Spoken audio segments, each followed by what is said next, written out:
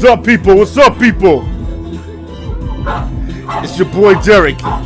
You know, Mr. Getting It Fit. Life has changed. Things have changed. I'm making moves. I think it's time for me to get rid of the trap house. You know what I'm saying? My daughter's on her way. She's stay tuned. Stay tuned. Y'all know what I'm capable of doing. Yeah. I'm gonna destroy some weights tomorrow. Bang bang. What's cracking out there? What's cracking out there? I'm about to put up a video. Who wants to see me kill Chess tomorrow?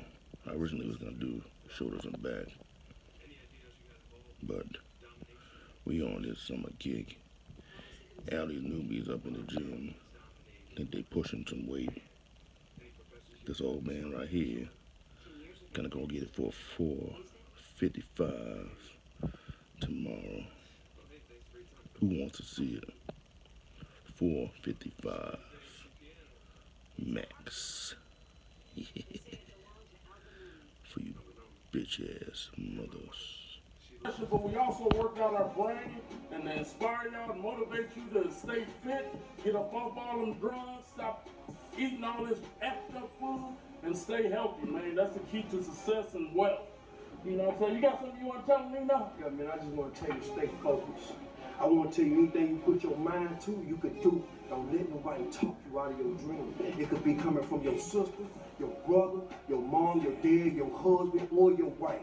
What you got to do is overlook these people and understand that everybody can't go where you're going in life. Everybody can't sit at your table. God prepared a table for you, and you got to understand that table is just for you. Yeah. Stay focused out here, cuz. Stay focused, baby. Love y'all. Keep up the positive work. Let's make this world great, man. We need more positive people in the world. If you're out there and you want to get that body for 2018, if you want to turn heads on that beach, uh, just hit me up. Let me know.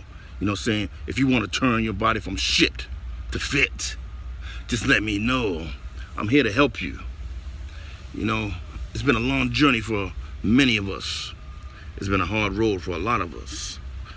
Being in shape is one of the hardest things I ever do, unless you got a fast metabolism.